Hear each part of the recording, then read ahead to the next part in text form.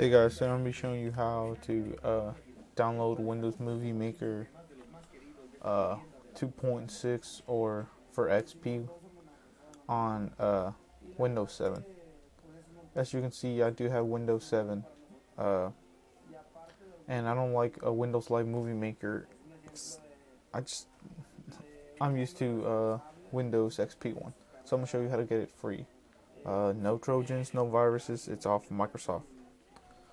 So you go first to the website that I'm gonna post on my video, which are in this description. It's called Microsoft.com slash download slash en slash details. Well, yeah, you get it. Just copy and paste into your URL. And from here, as you can see, Windows Movie Maker. You wanna go right here and click download. And it'll say thank you for downloading. And here I'm using Google Chrome, it'll say uh, start downloading.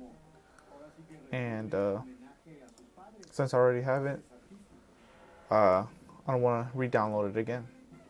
So once that's done and you're running through, uh, people will get lost here and not know where to find the program. So you want to go to uh, computer or my computer if you're on XP.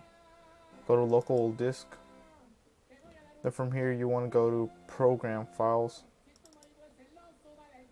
And here you want to go to uh, you can find it right here.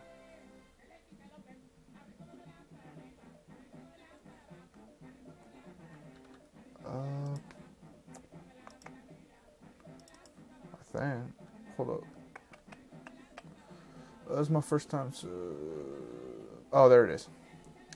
So, Movie Maker 2.2, and you can just open it that way by clicking that. The way I do it is it's on my start and Windows Movie Maker 2.6, uh, and voila. Sorry about that.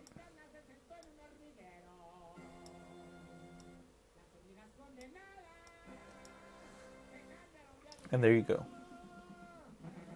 Man, I love this program. Uh, so yeah, it's the same thing as if you had XP and just tell me what you need and I'll try to answer your questions.